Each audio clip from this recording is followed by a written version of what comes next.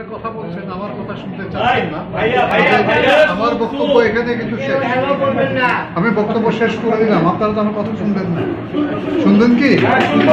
শুনলে চুপ করেন তা নাহলে আমার বক্তব্য শেষ। তাই না?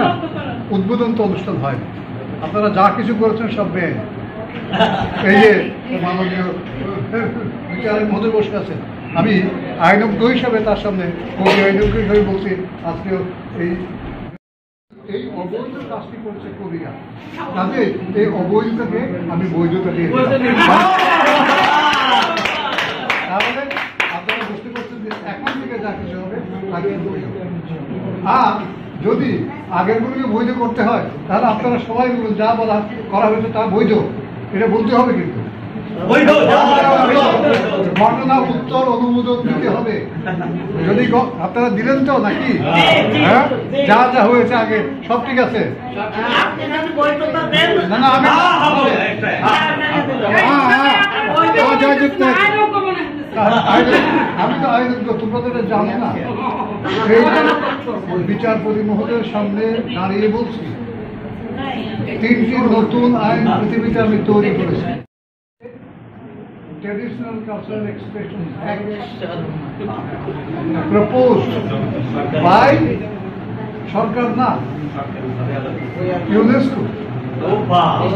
ইউনেস্কো সংগঠন ওয়াইপো ওয়ার্ল্ড অর্গানাইজেশন বাংলাদেশে যদি আমাদের কপিরাইটে ওই অংশটি যায় তাহলে দেখা যাবে এইটাই প্রথম।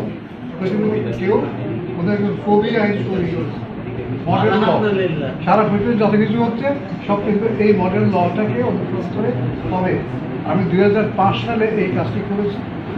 এক হাজার পৃষ্ঠার একটা ইংরেজি আপনারা এই জানেন এই যে জানার জন্য শুরু করলাম এতে এইটুকু আছে পৃথিবীতে কোনো অবৈধ কিছুই নেই।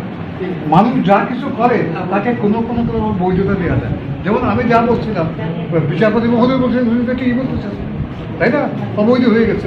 সে অবৈধকে বৈধ করার সব কিছু আছে। পৃথিবীতে অবৈধ সন্তান বলতে কিছু নাই। পিতা যদি পয়সা পরে বলে হ্যাঁ আমি পিতা, তাহলে আর বৈধ হবে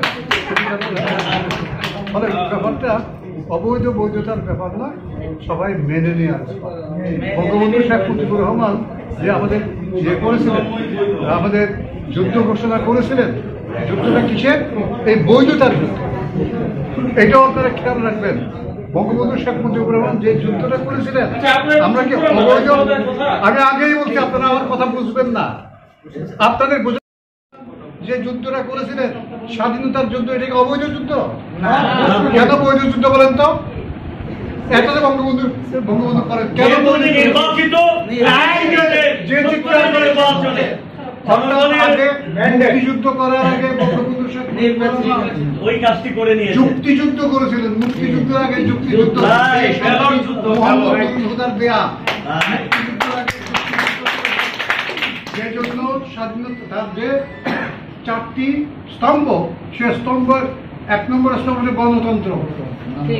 গণতন্ত্রের মাধ্যমে সকলের যদি সেই কি বলব একেবারে গ্রিক গণতান্ত্রিক পদ্ধতিতে গ্রিক গণতন্ত্র এই ধরনের ওইখানে কিন্তু ভোটার ছিল না। ইয়ে ছিল না। একসঙ্গে সবাই আছেন হ্যাঁ? পেরিক্লিস দাঁড়িয়ে ওইখানে রাজা হয়েছে। সবাই হচ্ছে পেরিক্লিস রাজা। তাই না? এটা হলো পৃথিবীর প্রথম গণতান্ত্রিক রাষ্ট্র। দ্বিতীয় গণতান্ত্রিক রাষ্ট্র হচ্ছে সঙ্গে মদিনা সনদ। মদিনা সনদে যখন হজরত মোহাম্মদ ইসলাম এইভাবে আদায় করে পৃথিবী আমার সুবিধা। পৃথিবীর প্রত্যেক মানুষের অধিকারের জন্য। এমনকি যারা আমাদের বিরোধী ছিল তাদের অধিকারের জন্য। কিন্তু একটা কথা বল করেছি তুমি তোমার অধিকার রক্ষা করবা কিন্তু অন্যের অধিকারে হাত দেবা ওই নিয়াজি তোমার অধিকার আছে মানুষ হিসেবে বেঁচে থাকার কিন্তু তোমার অধিকার নাই মানুষ হিসেবে অন্যকে বাঁচতে না দেওয়ার জন্য তার উপর আঘাত আনার কোনো অধিকার তোমার নাই। ইয়া ইয়া তোমার অধিকার নাই। সারা পৃথিবীব্যাপী এইভাবে আর আস্তে কথা বলতেছে, জাতীয়তাবাদ আন্তর্জাতিকতাবাদে পরিণত হয়ে যায়। কেউ কেউ মনে করেন জাতীয়তাবাদ সারা পৃথিবীতে এক ধরনের যুদ্ধ বৈরিতার সৃষ্টি করে না। জাতি বৈরিতা আর জাতীয়তাবাদ এক না। জাতি, জাতীয়তাবাদ হচ্ছে যে একটা জাতি, তার প্রতিটি মানুষ তারা সাম্যবাদের ভিত্তিতে অর্থাৎ সমান অধিকারের ভিত্তিতে সমান অধিকার মানে কি?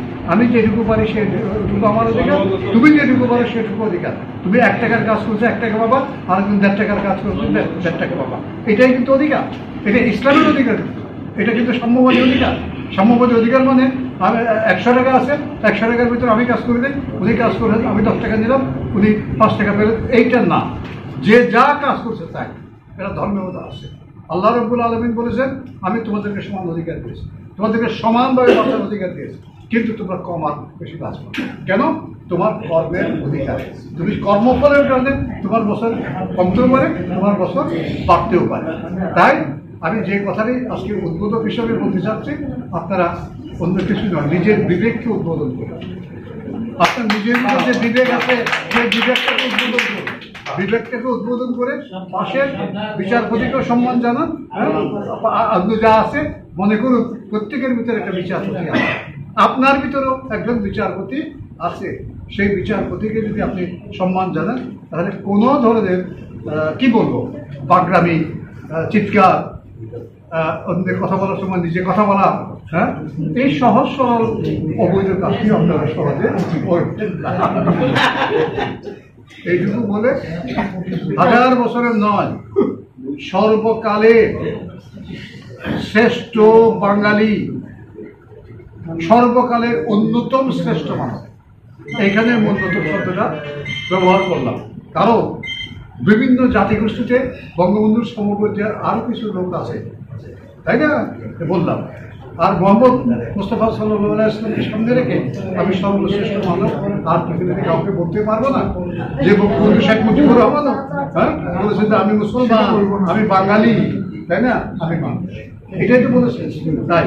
তাদের সারা পৃথিবী আমরা এবার বুঝতে পারছি, এখন বিংশ শতাব্দীতে আপনারা যদি সত্যিকার অর্থে দেখেন, বঙ্গবন্ধুর কাছে একজনও পাবেন না মহাত্মা গান্ধী না ওই যে দক্ষিণ আফ্রিকার ওর নাম কি? কেউ আসবে আসবে না এই জন্য আমি শুধু একটা কথাই বলি। বঙ্গবন্ধু শেখ মুজিবুর শুধুমাত্র একাই যে বাংলাদেশকে স্বাধীন করেছে এর কারণ হচ্ছে বঙ্গবন্ধু শেখ মুজিবুর কখনো নিজের জীবনকে এবং তার নিজের জীবনকে নিয়ে কখনো কোনো প্রস্তুত ছিলেন না। তিনি যে কোনো মুহূর্তে জীবন দেওয়ার জন্য প্রস্তুত ছিলেন।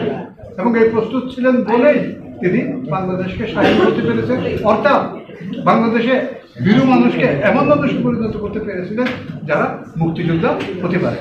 বাঙালির প্রথম মুক্তিযোদ্ধার নাম বঙ্গবন্ধু শেখ মুজিবুর রহমান শ্রেষ্ঠ মুক্তিযোদ্ধার নাম বঙ্গবন্ধু শেখ মুজিবুর রহমান। আমরা সবাই তার অনুসারী মুক্তিযোদ্ধা আর যুক্তিযোদ্ধা। এই যে বঙ্গবন্ধু আজকে লেখক পরিষদ হলো বহু আগে থেকে হয়ে এসছে। একজন আমি বলব যে আইনজ্ঞের মাধ্যমে আয়তুল্লাহ যে আইনজ্ঞ ছিলেন আইনজ্ঞের মাধ্যমে এটা শুভ সূচনা হয়েছিল। এটা আমাদের জন্য একটা ভালো দিক। আর প্রতিটি কবিতার ভিতরেও একটা আইন আছে। এই যে আজকের যে সভাপতি যিনি হলেন, তিনি খুব ভালো করে জানেন, আইন ছাড়া কবিতা লেখা যায় না। ছন্দ যখন লিখবেন ছন্দ কিন্তু পরিপূর্ণ যুক্তির উপর দাঁড়িয়ে আছে। কাজে যারা কবি হতে চান আমার মতো আমি যে গলা উঁচিয়ে চিৎকার করছি, চিৎকার না করলেও চলে সহজ সরল ভাবে কবিতা লিখলেও চলে। যদি কবিতার ভিতর আপনি ছন্দটা ঠিক রাখেন, আইনটা ঠিক রাখেন, আর ছন্দ যদি ঠিক না রাখেন, কথন ছন্দে যদি কবিতা লিখতে চান, লিখবেন। কথন ছন্দকে আয়ত্ত করতে হলে অবশ্যই তিনটা ছন্দ আপনাকে হবে। এই কথাগুলি বলছি এই জন্য। এটা বঙ্গবন্ধু কবিতা পরিষদ বা বঙ্গবন্ধু সাহিত্য পরিষদ। কাজেই মানুষ হিসাবে যুক্তি দরকার, কবি হিসাবে যুক্তি দরকার। আর সেটা না করে কবি হতে কখনো পারবেন না। সর্বশেষ কথা। পাঠ পাঠ পাঠ।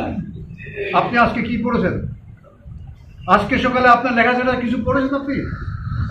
আপনি কি দেখেন মোহাম্মদ এক- একজন অতি সামান্য ব্যক্তি, রাত নিশীতে বার বারোটার সময় নিশি পাঠ শুরু করে এবং রবীন্দ্রনাথকে পড়ে এবং টলস্টয়কে পড়ে। কেন পড়ে? আপনি যদি রবীন্দ্রনাথকে পড়লেন না টলস্টয়কে পড়লেন না কাউকে পড়লেন না শুধু বঙ্গবন্ধু বঙ্গবন্ধু বঙ্গবন্ধু করবেন বঙ্গবন্ধু আপনার কবি বানাবে? বঙ্গবন্ধুকে মানুষ বানাবে? কিছুই বানাবে না। ইকরা আল্লাহ রসুল বলেছেন। আর বঙ্গবন্ধু শেখ মুজিবুর রহমান কি করতেন? দেখেন আত্মজীবনী পাঠ করেন। পড়াশোনা। ছাড়া জীবনে আর তেমন কিছুই করেন নাই। যা কিছু করেছেন পড়াশোনার বাইরে যা করতে হবে মানুষের জন্য তাই করেছেন। কারাগারে রোজনামটা কি করে হলো? রাজমন্দির হ্যাঁ। এই যে রোজনামটা এটা কীভাবে হলো? আত্মজীবনী কীভাবে হলো? পড়েছেন তারপর লিখেছেন। পড়া মানে আর একটা কথা বলি পড়া মানে শুধুমাত্র এইটা খুলে জনকের জন্য কবিতা নয়। পড়া মানে চোখ বন্ধ করে মন খুলে দেখবেন। চোখ বন্ধ করে মন খুলে যদি আপনি দেখেন তাহলে পৃথিবীতে অনেক কিছু দেখতে করতে পারবেন যা আপনি সাধারণত করতে পারেন না। আকাশে যদি তাকান কতদূর নীল যতদূর দেখেন ততদূর দেখেন। এটা কত? এটা একশো কোটি মাইলও না। তারপরেও কিন্তু দূরত্ব আছে। সেই দূরত্বটা দেখতে হলে আপনাকে চোখ বন্ধ করে চোখ বন্ধ করে মনের চোখ যখন খুলবেন, আপনি দেখবেন মুহূর্তেই সমস্ত পৃথিবীতে আপনি চলে গেছেন। অভিমানে সেই ধরনের দৃষ্টি সম্পন্ন পাঠ সম্পন্ন একটা গাছের দিকে তাকাবেন, গাছ মানে একটা অক্ষর। দাঁড়িয়ে আছে। এই যে- এই- গাছ একটা একটা অক্ষর। দিকে আকাশের একটা অক্ষর। বিচারপতির দিকে তাকান। এই বিচারপতির একটা অক্ষর। প্রত্যেকের আলাদা অর্থ অর্থ কি? আ- আ- আ- আসলাম সালি এলে আমরা জানি কি মাছ কি আসবে এটা তাকে পাঠ করে একেবারে নতুন একজন মানুষ এসে আসলাম সালিকে দেখল। বুঝতে পারবে? আসলাম সালি এই প্রতিবাদী? আসলাম সানি মানে হলো সানীন্দ্রনাথ ঠাকুর এটা বুঝবে? আমরা তাই না? বাবারে দেখে শুনে কথা বলতে হবে সেই বলতে হবে। বলে, কেন? আমি তাকে পাঠ করেছি। আপনি তাকে পাঠ করেছেন। কাজী নজরুল ইসলামে দেখলেন, বই দেখলেন যাত্রা চলের বাবরি চলানো দেখেই বলে, কি বললেন? আরে এটা আমাদের কবি। আবার কেউ না দেখে যদি বলে এটা পাগল নাকি চারদিকে মহিলাদের মতো চুল ঝুলিয়ে দিয়েছে কেন? আমরা তখন কি? আমরা বলো থাকি আমাকে একজন হঠাৎ বল, এক জায়গায় গিয়েছি কোনো এক অন্য জায়গায়, সে বারবার বারবার বলতেছে দুলাভাই কাজী নজরুল ইসলাম থেকে তাদের দুলাভাই। দুলাভাই। দুলাভাই আপনার বয়স কত? না বলছে এই চল্লিশ কাজী নজরুল ইসলামের বয়স কত? হ্যাঁ ছিয়াত্তর বছর। কে বলছে? কাজী নজরুল ছিয়াত্তর বছর শরীর চাপ জীবন ছিল এখন একশো বাইশ বছর। তো একশো বাইশ বছরের বুড়া হয়তো তোমার দাদা। সে তোমার দুলাভাই হলো কি করে? বুঝতে পারছ না? দাদারও। হ্যাঁ দাদা দাদারও বেশি। তো এই ধরনের অস্বাভাবিক কিছু ব্যাপার আমরা উন্মত্ততার মাধ্যমে করি আজকেও হয়েছে। উন্মত্ততার মাধ্যমে আমরা অনেক কিছু করেছি। এগুলোকে আশা করি কবিরা সব বৈধ দেবে বৈধতা দেবেন। আমি উদ্বোধন করে গেলাম। বিচারপতি মহোদয় সব কিছুকে দেখে বলবেন যে ইহা স- যে ইহা সত্য ইহা সত্য ইহা সত্য। ভালো থাকবেন।